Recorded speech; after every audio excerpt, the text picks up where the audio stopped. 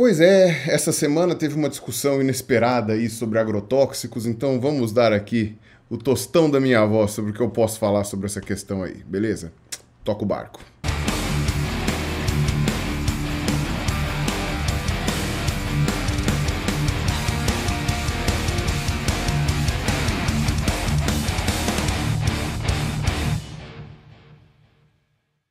Olá pessoas, este é mais um vídeo meu aqui na internet. Então vamos primeiro pro merchanzinho, né? Do Mercado Livre, como vocês já sabem, tá com a promoção de volta às aulas, em que você pode, acessando o link que eu vou deixar aqui embaixo, conseguir comprar alguns produtos mais baratos ou com algumas vantagens para quem tiver aí na volta às aulas ou para quem tiver filhos que estão voltando às aulas. Então vale muito a pena vocês darem uma olhada aqui embaixo, que inclui não somente material escolar de substituição, como também alguns livros, tanto de ensino fundamental e médio quanto de graduação. Então vale a pena dar uma olhada aqui no Mercado Livre, colocar aqui embaixo, beleza? Outro merchan, camisetas do Pel, como sempre, certo? Esse daqui do Game of Thrones, ó, legal dessa ângulo de filmagem aqui, que agora dá para ver a camiseta inteira, tá? Então ninguém vai poder reclamar do meu merchan dessa vez. E terceira coisa para avisar, que dia 25 de fevereiro eu estarei novamente no Teatro Gazeta, tá? Então pro pessoal que tava reclamando que o Pirula, ah, não vem mais para São Paulo, não volta mais para casa, pra casa dele, porque ele tá sempre viajando, e é verdade mesmo, tô sempre viajando, como agora, por exemplo. E a tendência é que eu faça cada vez menos apresentações em São Paulo e mais em outros lugares onde eu nunca me apresentei. Mas se você ainda não teve a chance de me ver em São Paulo ou não viu a minha segunda apresentação, né, um sujeito chamado Pirula,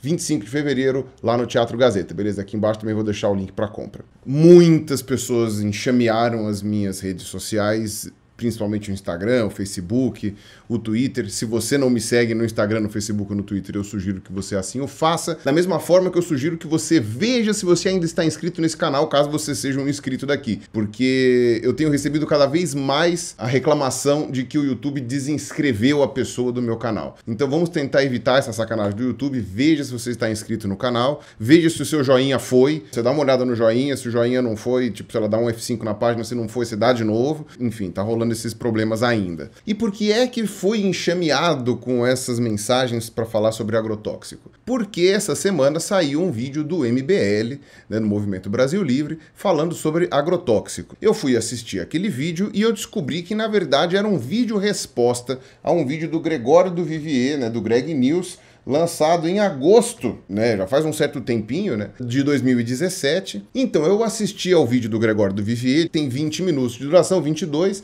e assisti ao vídeo do Kim Kataguiri lá do MBL, que tem 10 minutos de duração mais ou menos. E aí o interessante é que nesses dois vídeos, assistindo os dois vídeos, você consegue extrair vários ensinamentos sobre argumentação, quando a gente está num debate público sobre algum assunto. O primeiro deles é sobre o famoso cherry picking, certo? Ou seja, você vê, terminando o vídeo do Gregório do Vivier, que pesticidas, herbicidas, inseticidas deveriam ser banidos da humanidade. E você assiste o vídeo do Kim Kataguiri e parece que você consegue beber pesticida que não faz mal nenhum, né? É uma coisa super tranquila, super legal. E obviamente que não é nenhum nem outro, né? Porque você vai ver o vídeo deles e eles têm um viés muito forte do que eles estão querendo colocar e não pontuam exceções, não pontuam quais são as vantagens e desvantagens, não fazem esse tipo de análise. Simplesmente já vão com uma ideia pré-concebida que ou o pesticida é a coisa mais perigosa do mundo ou foi a salvação da humanidade nos últimos anos. Beleza? E obviamente que como nada no mundo é 8 ou 80, a gente tem que chegar aí no meio termo. Um segundo tipo de aprendizado de argumentação que a gente pode retirar desses dois vídeos é que é possível falar várias mentiras dizendo apenas verdades. Ainda que você não construa esse discurso na base de mentiras, o discurso pode ser mentiroso falando apenas verdades, ou quase tudo sendo verdade, tá? Vocês vão ver que tem uma outra mentirinha, principalmente no vídeo do Kim, mas não apenas no vídeo do Kim, também no vídeo do Gregório. E o que são agrotóxicos, certo? Agrotóxicos são o que eles chamam de defensivos agrícolas, certo? É uma coisa para defender a sua lavoura contra criaturas indesejáveis. O que são criaturas indesejáveis? São aquelas que no ambiente natural estariam se alimentando daquela planta que você está plantando ou estariam crescendo naquele solo que você está tirando tudo para plantar só aquele tipo de vegetal. Eles chamam, por exemplo, de ervas daninhas. A erva daninha nada mais é do que uma planta como outra qualquer que está crescendo aonde o agricultor não quer que cresça. A mesma espécie de planta, ela não é daninha numa floresta, ela não é daninha num campo aberto, ela não é daninha às vezes nem num pasto, mas ela é daninha quando você está plantando milho, por exemplo, não é para nascer aquela plantinha no meio do milho milho, porque aquela plantinha vai ocupar o espaço do milho, vai pegar a luz do milho, vai pegar nutrientes do solo do milho e você quer só cultivar milho e não essa plantinha aí que nasceu. Aí só que quando você cria um terreno extremamente fértil para que nasça milho, ou para que nasça soja, ou para que nasça cana, é meio difícil que você impeça que outros tipos de vegetais também queiram nascer naquele mesmo tipo de solo. Então você precisa de herbicidas, que são aqueles tipos de compostos químicos que vão atacar apenas, ou pelo menos deveriam atacar apenas, aquelas plantas que você quer matar. Então, além de herbicidas, os agrotóxicos também podem ser os inseticidas, ou seja, matar insetos que na natureza estariam se alimentando daqueles produtos agrícolas, mas que você não quer que eles façam isso porque eles vão apodrecer exatamente aquilo que você quer produzir. Então, se eu estou plantando laranja e vem lá um bicho que na natureza costuma comer laranja, se você tem uma monocultura de laranja a perder de vista, eles vão chegar e falar: nossa, é um banquete. E aí você tem que impedir que esses insetos venham e comam a laranja antes do consumidor para quem você quer vender. E para isso você vai usar inseticidas. Existem vários tipos de fungo que podem matar plantas que têm algum valor agrícola. Podem se instalar na raiz, podem estragar frutos, podem estragar espigas, né, no caso de milho. Enfim, tem uma série de fungos que podem ser muito prejudiciais para uma lavoura. E aí você tem alguns tipos de defensivo que são chamados de fungicidas. E aí você tem outros tipos, aí também alguns que são específicos para matar roedor, alguns que são específicos para matar passarinho, porque os passarinhos podem vir e abrir as frutas que você usa, ou podem destruir as espigas tal. No caso, corvo, né, que é o exemplo clássico, né, aquele espantalho lá no meio do, do milharal tentando espantar os corvos tal, que acontece lá nos Estados Unidos. Aqui a gente não tem corvo, então tem alguns agrotóxicos que são usados para matar corvo, para matar outros tipos de ave. Tudo isso daí podem ser chamados de pesticidas, qualquer um desses organismos que não são os desejáveis economicamente falando, são chamados de pestes, ainda que um rato, um, um corvo não possam ser chamadas de peste única e exclusivamente por existir. Elas são pestes dentro de um ponto de vista agrícola, ou seja, dentro daquele tipo de cultivo, daquele meu objetivo, esses bichos ou essas plantas são pestes. Então esses são os agrotóxicos. Se você está assistindo meu vídeo e é trabalhador rural, talvez você possa me indicar outros tipos de agrotóxicos que também existem. Eu acho que eu abordei aí os principais, os mais comuns. A gente precisa usar esses tipos de veneno, e são venenos, sim, para evitar a perda de safras ou lavouras. Às vezes você pode ter a perda de produtos inteiros, eles vão sumir do mercado, eles não vão mais poder ser utilizados pela população por causa desses elementos. Isso é uma questão simples de seleção natural. Então você tem, por exemplo, aqui na América do Sul, uma população natural de milho que não era grandes coisas, que eram. O milho é uma gramínea, né? Então ele está espalhado em um canto ou outro ali e tal e não formando uma grande cultura. E aí você tem os seus predadores naturais do milho. Vamos colocar aí gafanhotos, por exemplo. Aí esses gafanhotos tinham uma população muito reduzida. Só que de repente você começou a produzir milho em larga escala e aí esses gafanhotos por ter muito acesso à comida, começaram a se reproduzir e a procriar de uma maneira muito rápida. Levando em conta que o ciclo de vida de alguns insetos é muito curto, você em poucos anos você tem ali hordas e hordas de insetos que podem destruir a tua plantação inteira. Então, realmente, a gente, por estar subvertendo a ordem natural dos ecossistemas para nossa sobrevivência, a gente acaba tendo que arcar com os problemas de você subverter essa ordem, que é, por exemplo, algumas populações de outros animais não desejáveis que acabam crescendo muito e não era do nosso interesse. Eu já falei sobre isso no vídeo do Pyron lá, que eu fiz agora no final do ano passado, sobre a questão do, da, das espécies que são beneficiadas pela existência do ser humano, e algumas delas são essas espécies agrícolas, né? Soja, milho, cana. Só que também tem as espécies que são beneficiadas sem que o ser humano queira que isso aconteça. Barata, rato, pomba, são algumas espécies que são oportunistas. E isso daí tem de monte na parte agrícola. A gente tem que arrumar um jeito de combatê-las. Algumas pessoas falam que dá para combater com a própria seleção natural, ou seja, sei lá, eu tô com um problema de pulgão nas minhas plantas. Eu vou lá e jogo um monte de joaninha. Joaninha é o predador natural do pulgão, e aí eu consigo controlar a população de pulgões. Mas nem todas as monoculturas que a gente tem no mundo permitem esse tipo de combate. E também a gente tem culturas de escala muito grande também podemos discutir mais para o fim do vídeo, que impedem esse tipo de trabalho. Mas como eu não li sobre isso, eu não vou opinar muito mais aqui, tá? Vamos falar sobre os defensivos agrícolas. Você tem que fazer um veneno que mate apenas aquele bicho ou aquela planta que você não gosta, não mate aquela planta que você está plantando, que é aquilo que você quer que cresça, e também não mate o consumidor, que é aquela pessoa que vai comer aquilo. Então, se você for olhar a taxa de toxicidade para o ser humano dos agrotóxicos com o passar dos anos, ela foi diminuindo diminuindo. Porque os primeiros tipos de veneno que eram utilizados eram venenos que tinham poucos testes, eram venenos que tinham um grau de toxicidade muito grande, as nossas capacidades tecnológicas de desenvolver esses venenos eram menores, e aí você teve sérios problemas aí. Alguns desses venenos eram inclusive usados na guerra para você matar os seus inimigos. Você tinha ali algumas, alguns problemas envolvendo defensivos agrícolas lá pela década de 50, 40, sei lá. Um deles foi o DDT, tá? O DDT eu já abordei aqui num vídeo, eu vou colocar aqui nesse izinho, então eu não vou aqui falar do DDT para o vídeo não ficar mais longo do que já vai ficar. Então vamos dar uma olhada no, nos argumentos com relação ao malefício que as, que as pessoas podem ter com relação ao uso de pesticidas. O Gregório falou que o governo federal né, está recebendo propostas da bancada ruralista para que sejam afrouxadas as medidas né, de aprovação de pesticidas, ou seja, que seja facilitado o uso, a aquisição ou a liberação de tipos diferentes de pesticida. A Anvisa hoje libera esses pesticidas, eles têm que cumprir uma série de normas e a gente já tem um mecanismo um pouco mais frouxo do que a Europa e os Estados Unidos. A Europa e os Estados Unidos têm alguns pesticidas que são banidos, que aqui no Brasil a gente permite em larga escala. Tá? Inclusive teve um que o Trump resolveu liberar agora, que eu não lembro agora qual é o nome, são os clorpirifos clorpirifos. Essa é a tradução em português. Fica meio horrível isso daí, né? Clorpirifos, mas tudo bem.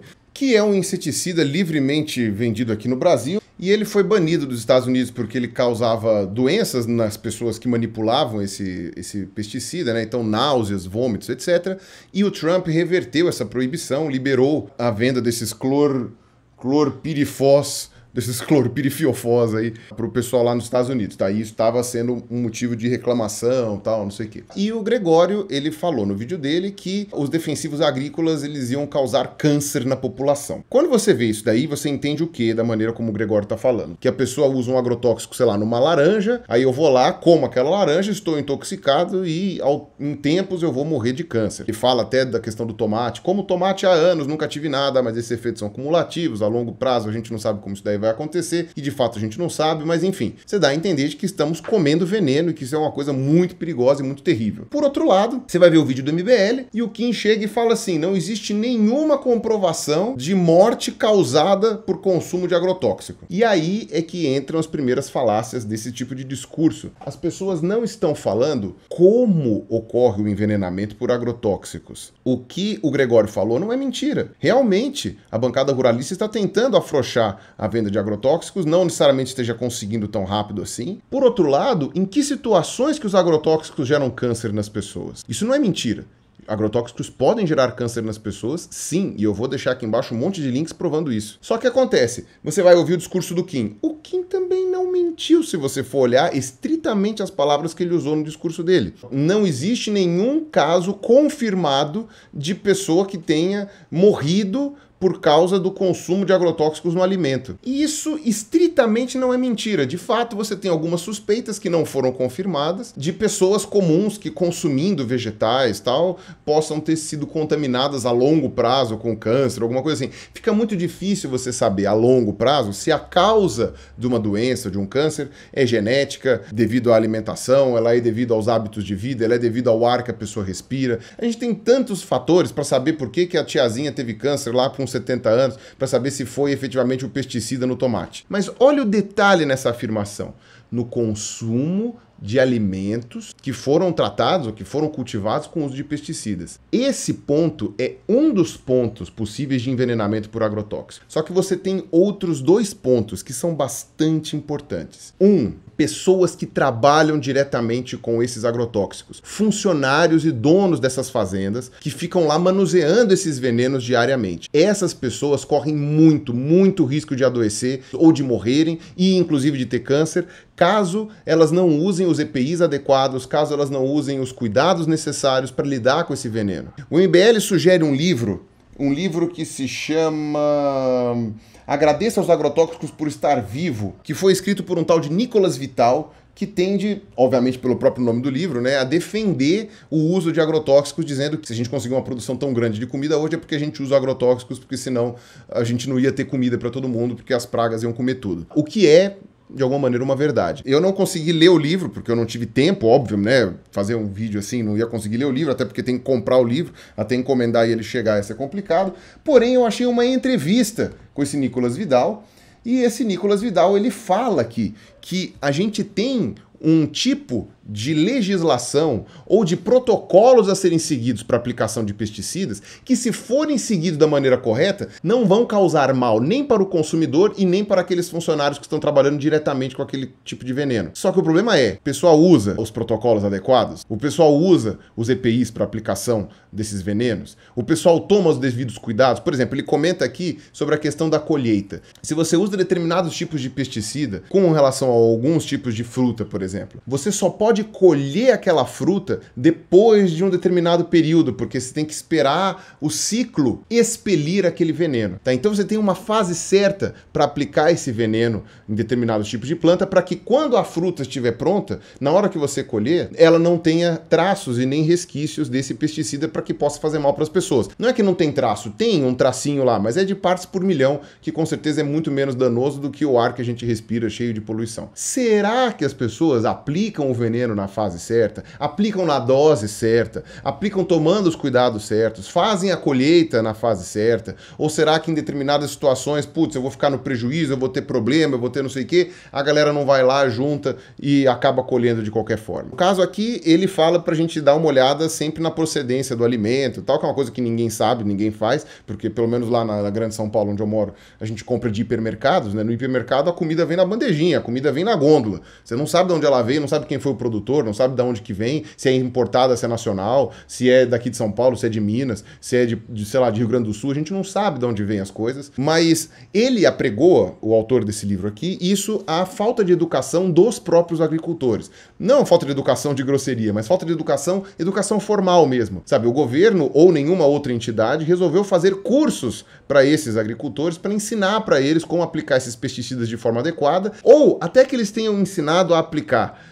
por que é que você deve obedecer as, as ordens e as orientações de aplicação. Você tem que explicar o que isso evita, como que isso evita, e principalmente esse autor desse livro aí, ele fala que a fiscalização é frouxa e que as punições são praticamente inexistentes, ou seja, se você faz uma aplicação indevida de pesticida e isso faz com que parte do alimento tenha resquícios de veneno, como aconteceu aqui, eu vou colocar aqui, tem pelo menos 30% dos alimentos que a gente consome tem um percentual de veneno maior do que o permitido pela Anvisa, pela Vigilância Sanitária, né? Isso deriva não só do não cumprimento das regras que estão protocoladas aqui no Brasil, como também da não fiscalização ou, quando tem fiscalização, da não punição desses agricultores. Esse é um problema a ser resolvido, que não é por causa especificamente dos pesticidas, e sim do mau uso e do não seguimento dos protocolos necessários. Então eu falei agora de dois tipos né, de envenenamento. Tem um terceiro tipo, que são moradores da área rural, que não são necessariamente agricultores ou não estão envolvidos no agronegócio e que podem entrar em contato com esses pesticidas de outras formas. Uma delas é com o borrifamento. Você tem uma série de normas de como fazer o borrifamento de agrotóxicos via avião. Tá? Eu vou deixar aqui embaixo também. Então você pega o aviãozinho, coloca o pesticida e você borrifa em cima da plantação. Tem um monte de jeito de você fazer isso sem espalhar esse pesticida para fora da área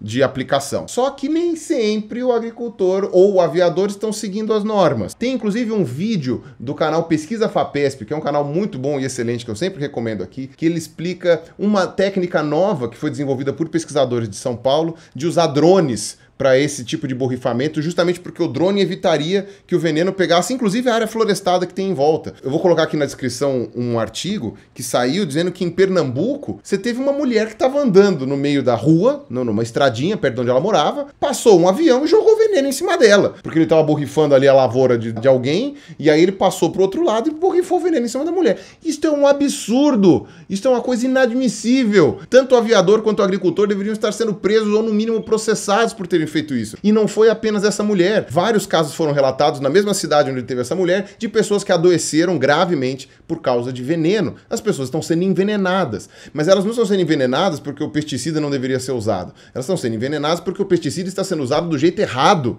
Elas estão sendo envenenadas porque tem um monte de irresponsáveis usando isso. Então eu acho que esse é o caso mais grave. Você também tem um monte de protocolos que a Anvisa e a ABNT listam, tá? Eu vou colocar aqui embaixo alguns deles, para que você não contamine nem os mananciais, nem os lençóis freáticos da sua região com veneno. Então, quer dizer, você tem aquela questão dos ozonizadores, né? Que são máquinas que produzem ozônio, né? Formam ozônio, O3, que ajuda, né? Uma reação a quebrar essas moléculas de veneno. Então, você tem que passar por esse procedimento antes de liberar. Inclusive, por exemplo, o aviãozinho, ele não pode ser lavado com água comum e deixar a água escorrer, porque o avião tem veneno em volta dele. Você tem que lavar com uma água especial, depois você tem que pegar toda essa água que escorreu, fazer esse tratamento, esse processamento para depois você liberar. E às vezes você nem pode liberar essa água, você tem que estocar ela em certos lugares para depois levar para unidades de tratamento. O agricultor faz isso? Ou ele pega todo aquele veneno e escorre para o lençol freático, escorre para o rio, escorre para um monte de lugar e aí depois vai contaminar a população ribeirinha, vai contaminar o pessoal da cidade que usa aquela água para beber, vai contaminar a tribo indígena que mora ali embaixo da, do, da virada do rio. Então quer dizer, a lei existe, a lei, se for bem cumprida, não vai gerar malefício. Porém, ela é cumprida? ela é fiscalizada? Depois de fiscalizada, as pessoas são punidas? Então, se você for levar em conta isso, de fato, você não tem praticamente nenhuma evidência de pessoas que morreram por ingerir pesticidas na cozinha da sua própria casa. Mas você tem sim vários casos de pessoas que morreram de câncer ou doenças mais graves por morarem perto de áreas agrícolas ou por trabalharem diretamente com esses pesticidas e não usarem o devido proteção ou não seguirem o protocolo adequadamente. Então você ouve o Kim falando, parece que o pesticida e agrotóxico nunca matou ninguém na vida, no mundo. Isso nunca aconteceu. Isso é mentira. É óbvio que aconteceu. Só que, de fato, da maneira como ele construiu a frase, não tá errado. Só que da maneira como ele falou, dá a entender que agrotóxico você pode beber que não vai fazer mal. E o Gregório falando que agrotóxicos são o maior mal do mundo, que você tá tendo milhões de pessoas morrendo de câncer por causa de agrotóxico, dando a entender se você comer uma maçã que foi borrifada com pesticidas, você vai morrer, desconsiderando que se for aplicado da maneira correta, você não vai morrer, não vai ter grandes prejuízos e que você morando numa grande cidade, dificilmente você vai ter um câncer por causa de pesticidas, porque você não mora nas áreas de risco, digamos assim, que isso pode acontecer, que são essas áreas rurais ou trabalhadores que lidam diretamente com isso. Então, as duas mensagens estão falando a verdade e as duas mensagens estão escondendo uma boa parte da verdade em prol de um discurso. Já falei um monte de link que vou deixar aqui embaixo na descrição. Quando eu estiver falando sobre envenenamento ocupacional, é justamente esse envenenamento de funcionários, tá? Você também tem o envenenamento voluntário, aí é outra coisa que tem que ser colocada, que é sobre suicídio. Você teve sim mortes por agrotóxico causado por ingestão proposital desses agrotóxicos. Isso no Brasil é muito raro, não sei nem se tem algum caso caso registrado, mas no leste da Ásia, na parte do continente que é banhado pelo Pacífico, você tem vários casos. Na verdade, é uma das taxas maiores de suicídio que tem por lá é pessoas que tomam esses agrotóxicos. São produtores rurais que em uma determinada fase de crise ou enfim, que a coisa não está indo muito bem, acabam tomando esse agrotóxico porque eles têm uma facilidade muito grande de acesso a eles. Aqui embaixo tem até alguns artigos científicos sobre medidas que esses países poderiam tomar para evitar o acesso fácil pelas pessoas a esse tipo de de composto. Você teve uma reportagem que o Gregório do Vivier falou no programa dele, e eu fui conferir essa reportagem, aparentemente é verdade mesmo, de que pode haver alguma relação entre o uso de agrotóxicos, no caso, manuseio de agrotóxicos, e depressão em que as pessoas que lidam diariamente com agrotóxicos podem ficar mais deprimidas,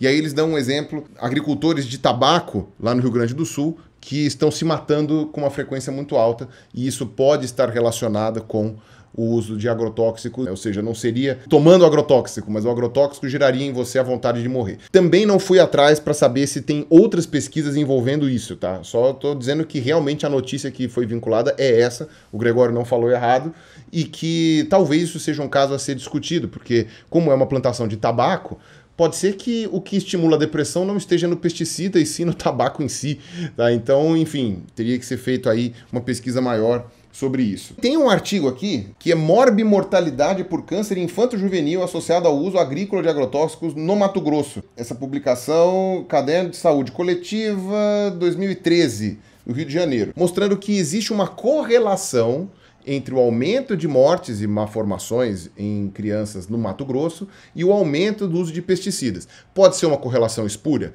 Pode, mas é pouco provável que seja o caso, porque no caso o Mato Grosso é um estado agrícola, é um estado gigantesco que vive basicamente de agronegócio, produzindo soja para boi e para exportação para a China.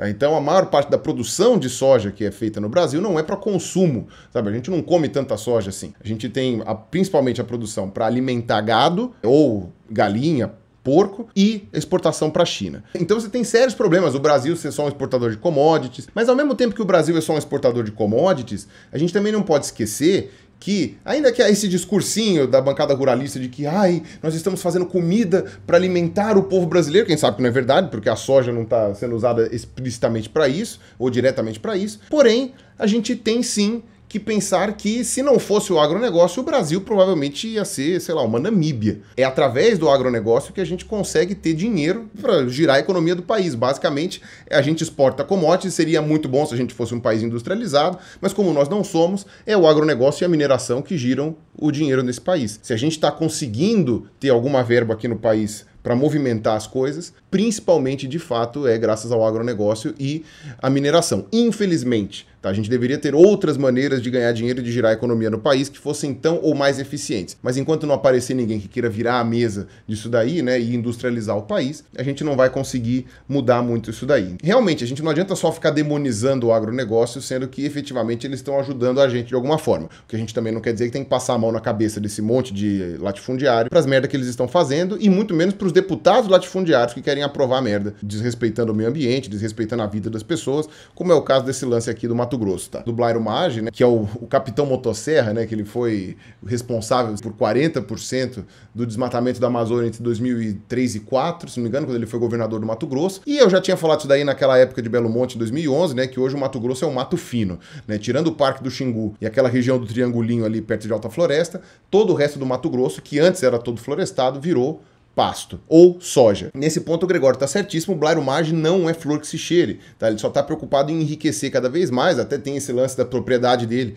ser do tamanho de alguns países da Europa. Então, tem tudo a ver com o crescimento do Brasil, como é que foram distribuídas essas terras para os agricultores lá na, na, década de 50, né? Como que isso daí foi feito, por que que você tem pessoas com propriedades agrícolas tão grandes, que não vem ao caso aqui, aqui eu estou falando de agrotóxico. Mas a gente tem que tomar cuidado para não misturar os discursos. E aí tem mais duas coisas que eu queria falar com vocês vocês. Uma delas é que o Kim, ele falou no vídeo dele, quando você começou a usar mais pesticidas, você conseguiu fazer uma produção maior de alimentos na mesma área, ou seja, que o uso de pesticidas teria reduzido o desmatamento. Na verdade, não é isso, tá, Kim? É, você está confundindo com os transgênicos. E aí agora a gente tem que abrir uma outra janela, que é a janela dos transgênicos. O que, que é um alimento transgênico? Tá? Resumindo em poucas palavras, tá? É um alimento em que você pega um gene de outro, outro ser vivo e insere ali naquele vegetal. Geralmente são vegetais, né? Então milho, soja, hoje as variedades mais cultivadas no Brasil e no mundo são transgênicas. E esse gene vai fazer com que aquele tipo de planta seja mais resistente a um determinado tipo de praga, seja mais resistente a um determinado tipo de veneno, porque afinal de contas, por exemplo, eu estou plantando soja, estou jogando um herbicida para matar a erva daninha. Esse herbicida mata a erva daninha e mata a soja também, não está certo. Você desenvolve uma soja geneticamente modificada que seja resistente a esse pesticida específico. E aí você pode aplicar ele à vontade nos campos, que ele vai matar só a erva daninha e não aquela planta que você quer cultivar.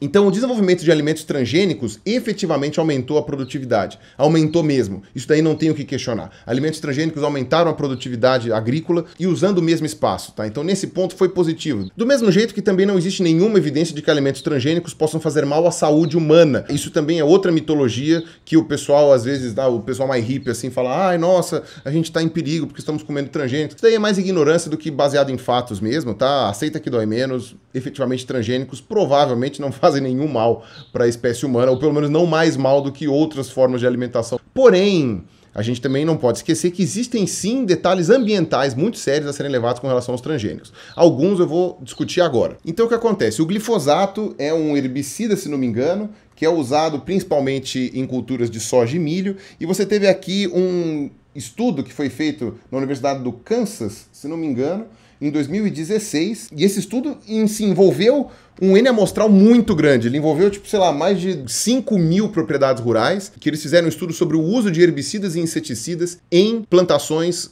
que cultivavam milhos e sojas geneticamente modificados ou milhos e sojas tradicionais. Tá? E eles chegaram à conclusão de que, no que diz respeito a inseticidas, realmente a soja e o milho geneticamente modificados fizeram com que o uso desse inseticida diminuísse. No caso das ervas daninhas, os herbicidas usados não tiveram o mesmo sucesso. Na verdade, muito pelo contrário. O uso de herbicidas passou a aumentar depois que você começou a usar os grãos geneticamente modificados. Por quê? Uma porque os agricultores começaram a confiar mais no uso de veneno, porque eles falavam: bom, esse veneno não vai matar o milho ou a soja, eu não tenho mais por que ter tanto medo de usar esse pesticida com medo de matar a minha lavoura. E segundo, por quê? Porque as ervas daninhas adquiriram resistência muito rápido a esse glifosato aí. Talvez a melhor explicação para isso, eu não achei aqui no artigo, mas Sendo biólogo, eu entendo alguma coisa. Você tem muita transferência horizontal de gene através de bactérias, né? Que elas têm um plasmídio, né? E ele consegue captar certos pedaços de gene de um determinado tipo de planta, e depois você contamina com outro e eles pegam. Inclusive é assim que é muitas vezes feito a modificação genética, né? A transgenericidade, né? Que você faz nesses, né? nessa manipulação genética dos organismos. Entre plantas isso é mais comum. Então pode ser até que o fato de você ter um gene de resistência a esse glifosato na própria semente, na própria planta de milho ou de soja tenha facilitado que as ervas daninhas tenham trocado esse gene com essas plantas e tenham ficado resistentes também em tempo recorde. Então, o uso de herbicidas não reduziu aparentemente implantações de milho e soja transgênico lá nos Estados Unidos. Isso é uma das coisas que a gente precisa levar em conta. Em parte foram os alimentos transgênicos e, inclusive, algumas mudanças na forma de fazer agricultura mesmo, né, de é, reuso do solo, de rotação de culturas, que fez com que a gente pudesse usar o mesmo espaço de produção agrícola para produzir maior quantidade de vegetais. Então, essa informação eu não achei na internet. Para mim, essa informação está inverídica mesmo do Kim, tá? Não foi por causa disso. Agora, é aquela coisa, esses cultivos de grãos geneticamente modificados também precisam de herbicidas e pesticidas, então pode haver uma falsa correlação aí. E um terceiro ponto a ser abordado com relação aos agrotóxicos, tá? Que eu acho que são muito importantes e que eu já abordei aqui em vídeo e pretendo abordar de novo. Só que infelizmente não tive tempo ainda de conseguir fazer esse tipo de vídeo, que é sobre o sumiço das abelhas. O que acontece? Você tem alguns tipos de inseticidas que são os neonicotinoides, eles são derivados da nicotina e eles atuam muito especificamente em alguns receptores de insetos e eles matam esses insetos com mais facilidade. Como eu falei, com o tempo a gente foi melhorando a qualidade dos pesticidas que a gente está usando na agricultura, justamente para fazer menos mal para a gente e mais mal único e exclusivamente para aquele tipo de praga que a gente está querendo combater. Óbvio, a evolução é implacável, a seleção natural é implacável, então em algum momento esses bichos ou essas plantas adquirem resistência. Não é que elas adquirem resistência, isso daí é lamarquismo, né? Morrem 99% dos indivíduos que não aguentam o veneno e aqueles que sobrevivem, aqueles 0,1%, já são naturalmente resistentes àquele veneno. Então, eles espalham e aí você tem que trocar de veneno. É a base da infecção hospitalar, né? Então, a gente não tem como lutar contra a evolução. Você acredite nela ou não, ela é um fato, ela é real. Então, o pessoal tem adorado muito usar esses neonicotinoides, só que eles têm um problema aparentemente, e eu vou colocar aqui embaixo alguns artigos muito atuais, eles têm uma relação direta de responsabilidade com a morte das abelhas, com o desaparecimento das abelhas, que a gente sabe que são os polinizadores mais baratos que existem no mundo, tá? porque eles polinizam de graça e eles fazem com que as lavouras e as plantações aconteçam. Se as abelhas desaparecerem, a gente não tem mais plantação, a gente vai morrer de fome, porque não tem como você ficar polinizando um por um, né, de todos os grãos, de trigo, de soja, de arroz, de feijão, você não tem como fazer isso manualmente. Lá na China até teve um caso que eles tentaram fazer manualmente, mas funcionários pagam. Por mais barato que seja o teu funcionário, você vai ter que pagar. Isso é muito caro. É muito melhor você contar com a ajuda gratuita da natureza que já faz isso daí sem te cobrar nada em troca. Só que abelhas são insetos. Você aplica um inseticida para matar broca, para matar, sei lá, pulgão, para matar essas coisas. A abelha também morre. A abelha também é inseto. A Bayer Internacional fez um texto bastante cara de pau, na verdade, tentando limpar a barra deles, porque é a Bayer que produz a maior parte dos neonicotinoides hoje. Tá? A Bayer que comprou a Monsanto, né? Então a Monsanto faz o alimento transgênico e a Bayer que fa fabrica o pesticida, né? Então é unir a fome com a vontade de comer, né? Ou, ou como diria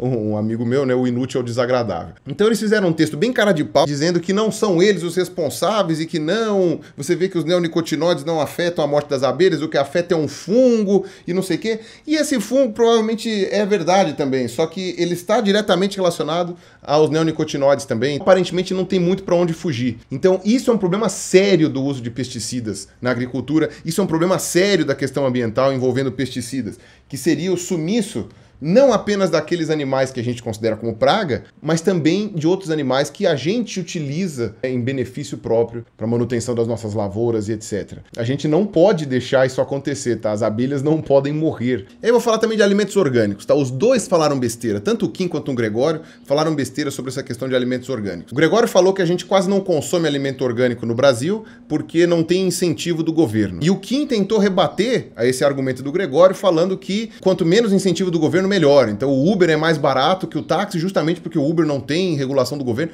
Tipo, eu não entendi direito essa argumentação. Para mim seria o contrário, né? Se você tem incentivo do governo, no caso, não é uma regulação, é um incentivo, deveria ficar mais barato mesmo. Só que nenhum dos dois tocou no ponto de por que, que o orgânico é caro. O orgânico é caro porque ele é gourmet. Quer ver uma coisa? O, como é que é feito o alimento orgânico? O alimento orgânico, tecnicamente, ele é produzido da mesma forma que era produzido 300 anos atrás. Você pega uma semente, você planta, ela nasce, você rega ela, até que chega uma hora que ela vai dar fruta, certo? É o pomar do quintal da avó. É óbvio que não tem problema nenhum com o alimento orgânico. O alimento orgânico a gente consome desde a existência da humanidade até hoje. A gente chegou onde a gente chegou comendo alimento orgânico. Os defensivos agrícolas, como eu falei, eles têm menos de 100 anos. Então é óbvio que alimentos orgânicos são bons. E aí você vai se perguntar, pô, mas se é isso, por que, que é caro? Claro, quem é que tem consciência no Brasil que está preocupado com a origem da própria comida? Aquela pessoa que tem condições de escolher o que vai comer. Quem não tem condição de escolher o que vai comer, vai comer o que tiver. O pessoal pobre no Brasil não está preocupado se tem agrotóxico na comida, porque ou come a comida com agrotóxico ou não come comida nenhuma.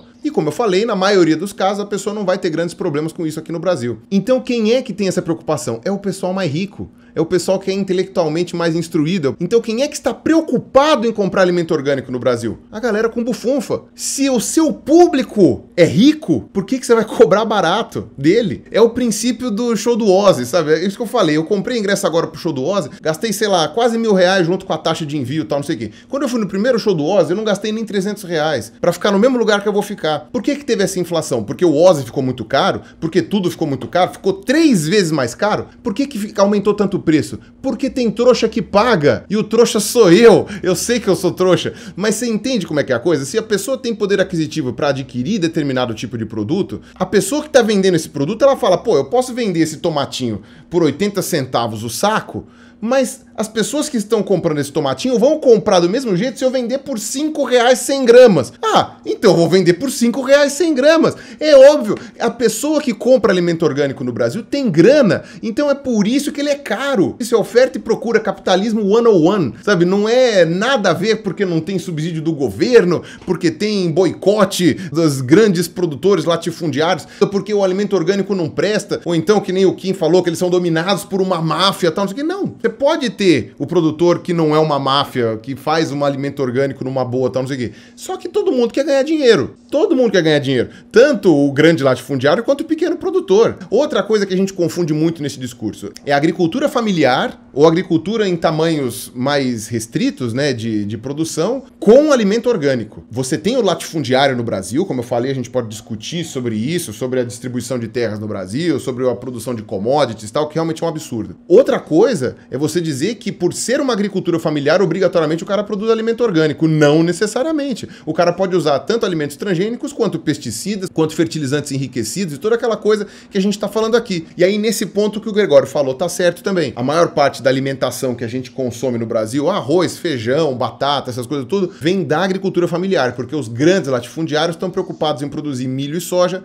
para alimentar a vaca ou para exportar. Por exemplo, lá na Argentina aconteceu um movimento alguns anos atrás de produção de soja, porque era lucrativo, obviamente, exportar para a China soja, ganha mais dinheiro, o agricultor ganha mais dinheiro. Só que as pessoas pararam de plantar trigo para plantar soja. E os produtores de trigo que tinham na Argentina preferiam vender para o Brasil, que era mais rentável para eles vender para o Brasil, porque a gente quase não produz trigo aqui no Brasil, a gente compra da Argentina a maior parte. E acabou faltando trigo na Argentina para fazer pão. Então você teve uma inflação de trigo na Argentina e o pão passou a ficar caríssimo. Então, olha a bizarrice que aconteceu por causa simplesmente de oferta e procura. Tá? Então aqui no Brasil, a gente ainda tem alguns movimentos né, dos plantadores de soja tal, de não comprar, por exemplo. Isso daí eu não sei se foi renovado, acho que não foi renovado, mas até 2000 2015, acho, estava valendo, de não comprar soja de áreas que foram feitas em Amazônia desmatada. Então a gente precisa da Amazônia para continuar plantando né, essa soja e essas coisas assim, porque é ela que gera chuva necessária para que isso aconteça. Então os, os, próprios produtores de soja, depois de desmatar bastante a Amazônia, chegaram à conclusão de que chega estava bom. Para mim era uma medida bem interessante que eles estavam fazendo. Eu achei bastante salutar a ideia deles. Mas então é isso, tá, gente? Falei pra caramba, mas eu acho que eu abordei aqui os aspectos que tinham que ser abordados do assunto. É plenamente possível fazer um discurso de defesa dos agrotóxicos sem cair em um discurso de demonizar os ambientalistas, ou um discurso que negue os problemas reais dos agrotóxicos, ou que tenha uma falsa analogia, como por exemplo dizer que a solução para o fim do latifúndio é dar tudo para o MST. E o fato da conclusão não ser necessariamente a saída mais adequada não quer dizer que não haja um problema, tá? Porque da maneira como ele colocou lá, parece que não existe problema então uma vez que a solução é, é, é, ridícula. Isso é uma falácia, falácia de falsa correlação e falácia do espantalho também. Né? Do mesmo jeito que você pode fazer um discurso em defesa de alimentos orgânicos e contra o uso de agrotóxicos, sem fazer um discurso demonizando o agronegócio ou dizendo que a gente deveria parar de usar 100% de defensivos agrícolas ou dizendo que as pessoas vão ficar com câncer comendo uma maçã só porque em algum momento ela foi borrifada com pesticida. Porque se os protocolos foram seguidos, aquela maçã deveria ter uma quantidade de pesticida irrisória para causar mal para nossa saúde. Tá? Então, tome muito cuidado com esse tipo de discurso, tá? Não é nem 8 e nem 80. Então é isso, eu acho que a gente tem que tomar muito cuidado nessa fase de polarização política, inclusive agora que vai ter eleição esse ano, para a gente não cair nessas falácias, tá? Você pode pegar uma verdade aqui, pensar essa verdade, defender um discurso X que vai fazer todo sentido, e pegar uma outra verdade aqui e defender um discurso X que vai fazer todo sentido para você. Para você pegar essas verdades, você pode montar um discurso mentiroso em cima delas. Então você tem que tomar muito cuidado com isso. Não só com a questão dos agrotóxicos. Os agrotóxicos foi um exemplo que eu acabei de dar para vocês. Mas vai aparecer isso daí em todas as vertentes quando vocês forem ver agora no decorrer desse ano no Brasil. Tomem cuidado com o discurso desarmamentista, armamentista, com o discurso saúde e educação pública versus privada, eutanásia ou não eutanásia, descriminalização das drogas, criminalização das drogas, descriminalização do aborto, criminalização do aborto. Sabe, a gente toma muito cuidado com isso porque infelizmente esses discursos podem ser montados dessa maneira e a gente vai ver um monte de verdades sendo usadas para unir uma grande mentira. Tá certo? Espero que isso daqui tenha sido elucidativo para vocês, tenha dado bons exemplos para vocês e a gente se fala na próxima. Um abraço e falou.